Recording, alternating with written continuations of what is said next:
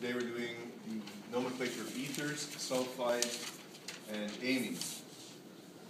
First section is ethers. Now you'll notice that with ethers there are, there are multiple naming methods, many of which are perhaps not exactly in keeping with IUPAC, but are still necessary to know because of the uh, versatility that it gives you in naming compounds. So you'll see I've named this molecule three different ways. The first and most obvious one is alkyl-alkyl ether, or dimethyl ether. You can also call it methoxy methane. And lastly, you can name it as though the oxygen were part of the chain. So the chain, the longest continuous chain there's three, uh, three long. You count the oxygen as though it were a carbon, so you call it 2-oxa. You put a prefix oxa to designate the fact that there's an oxygen in the second position. So oxapropane. This one is tert-butyl isopropyl ether, or you could say tert-butoxy isopropane. You could also say isopropoxy tert-butane. And lastly, the one that I favor, because it's the most systematic, is to say 2,2,4. Here's methyl groups at the second position and the fourth position. Uh, 3-oxapentane. So 2,2,4 trimethyl, 3-oxapentane longest continuous chain, if this were a carbon atom, would be one, two, three, four, five. And then you'd see these as substituents. And this, this tends to be the naming system that's favored if you look in the more recent literature. This one is cyclohexyl methyl ether, or you could say methoxy cyclohexane. And the last example is methyl vinyl ether. You could also say methyl ethenyl. Ethenyl is the IUPAC name for vinyl for a vinyl group, but it's okay to use the vinyl group because it's a trivial name and it tends to fit better. Tends to roll better when you name it. So methyl ethenyl ether.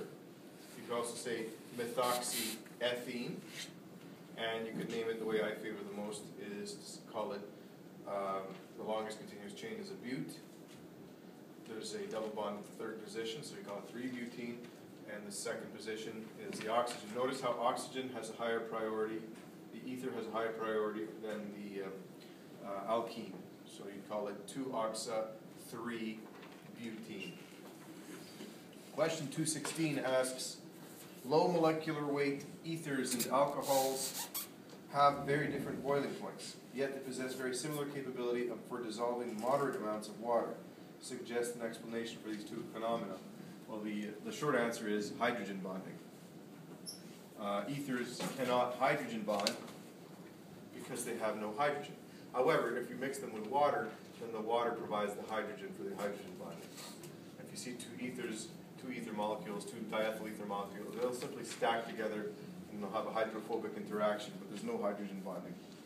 So the answer I wrote here was ethers do not H bond with themselves, due to lack of hydrogen attached to oxygen, but they can hydrogen bond with water molecules.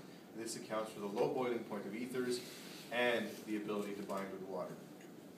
Next section, we look at sulfides. Sulfides are analogous to ethers, except that the oxygen atom has been replaced with a sulfur atom. So I named one uh, sulfide methyl 3-methyl-butyl sulfide. You had two, um, two alkyl groups, you can say alkyl-alkyl sulfide in the end. In the same way, analogous to uh, alkyl-alkyl ether. For amines, you choose the longest continuous chain with the nitrogen atom on it. You name that as the skeleton, and then any other substituents attached to the nitrogen atom have to be um, named using N to show that it's attached to the nitrogen atom. So this is a trivial name, tri trimethylamine. The correct IUPAC name for this substance would be N-N dimethyl methanamine.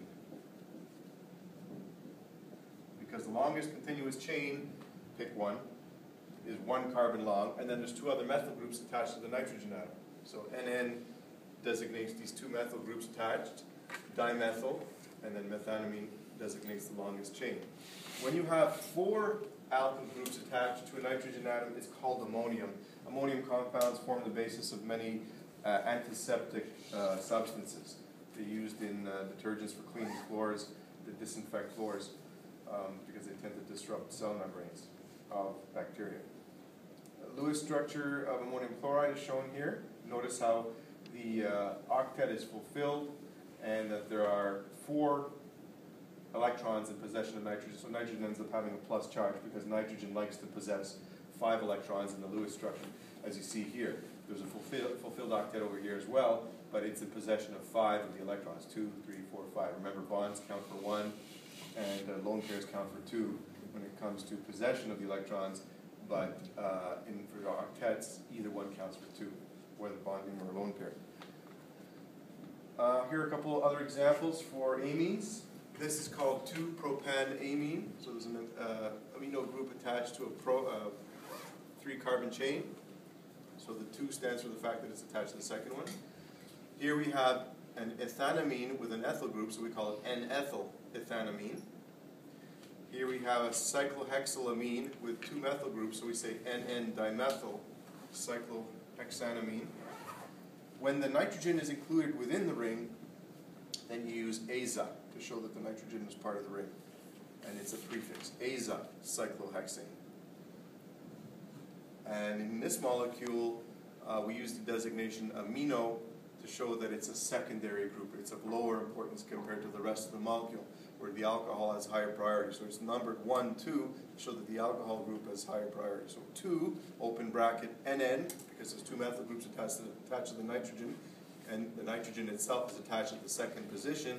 So NN dimethyl amino, close bracket, cyclohexanol. Oh, I should have said pentanol. It's not hexanol, it's pentanol.